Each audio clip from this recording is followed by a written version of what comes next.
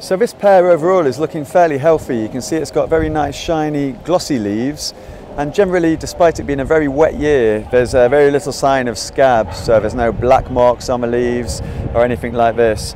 Uh, we will be reducing the guard on this tree soon which will help us in the formative pruning of the tree. Uh, one thing that's fairly common to see on, on pear leaves and it's nothing to worry about is this characterized by a rusty looking spot on the uh, top side of the leaf and on the underside, as this develops, a very alien-like growth. This is called pear rust and it's increased significantly in this country over the last 10 years and it's very common on pears around London.